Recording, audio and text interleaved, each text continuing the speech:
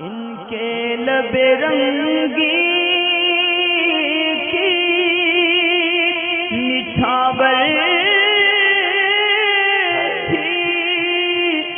जिसने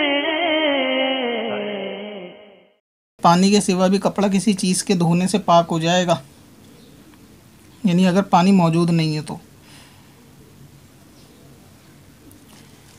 तो अगर पानी मौजूद नहीं है और कपड़े पे नजासत है।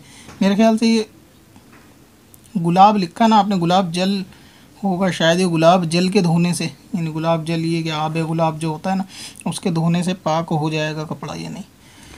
तो वो चीज़ जो होती है ना, जो रकीक है लिक्विड के अंदर जिसको आप बोलते हैं, या तरल पदार्थ जिसको बोलते हैं हिंदी में तो वो बहने वाली चीज़ जो पानी के हुक्म में आ जाए, जो बह सकती है। जैसे कि आपने नाम लिखा कि गुलाब जल तो गुलाब जल वगैरह से अगर पानी मौजूद नहीं है, उस सूरत की बात है।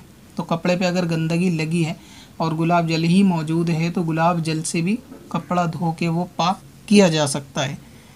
और इसी तरह अगर गुलाब जल के सिवा इसके कायम मकाम कोई दूसरी चीज़ है, जैसे कि जो तरल में होती है, लिक्विड में होती है और सिरका वगैरह भी है तो उससे भी धोकर कपड़े को पाक किया जा सकता है। यहाँ तक कि चाय से भी धो के कपड़ा पाक किया जा सकता है और ये तमाम सूरतें उस ही सूरत में होंगी कि जब कि पानी मौजूद ना हो।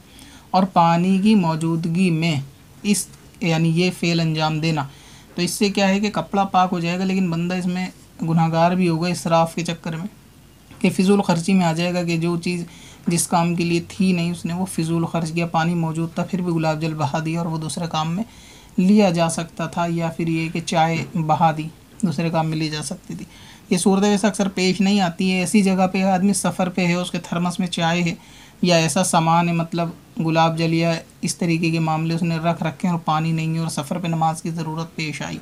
या ऐसी कहीं पिकनिक पे बंदा गया हुआ है, जैसे पहाड़ियों में, या इस किस्म के कहीं पर जहाँ पानी आसानी से नहीं मिल सकता और कपड़े पर गंदगी लग गई नमाज़ का टाइम है तो फिर वहाँ पर ये मसला यानी याद रखने के अतबार से दुरुस्त है कि हाँ इस चीज़ से एमरजेंसी में कपड़ा धो के पाक किया जा सकता है पानी के सिवा।